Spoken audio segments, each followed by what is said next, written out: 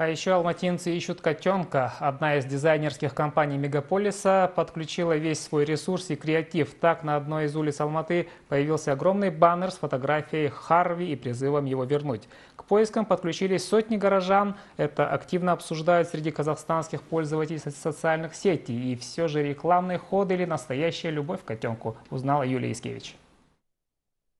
«Верните котенка Харви». Баннер с этим призывом висит на пересечении улиц Сейфулина и Жамбула больше месяца. Алматинские креативщики Абдель и Эльдар не отчаиваются. Они уверены, что такое объявление уж точно не останется незамеченным. В офисе до сих пор на прежних местах и коробка, где Харви спал, и его плюшевый дом. Иначе как членом команды дизайнеры котенка не называют. Его должность – менеджер по умилению клиентов.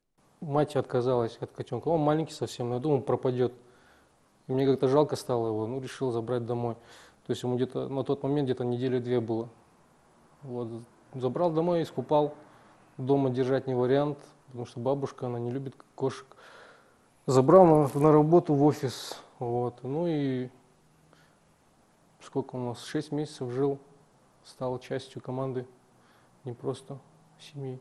Одним баннером дизайнеры не ограничились. Буквально за сутки они создали сайт «Верните Харви». Под лиричную песню «Моби» на странице меняются фотографии кота, а в контактной информации просьба звонить в любое время. Снимки баннера и ссылки на сайт уже разлетелись по Казнету. В Фейсбуке, например, фото, опубликованные разными пользователями, набирают десятки перепостов. Уже в, массу пошло все это, поэтому я думаю, народ по-любому это...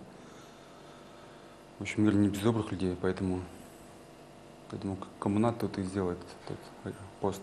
Абдель и Ильдар говорят, отзывчивые алматинцы звонят почти каждый день, рассказывают, что видели похожего котенка или хотят предложить ему замену. Дизайнеры ни на одно из этих предложений не согласились. Они верят, что Харви обязательно вернется.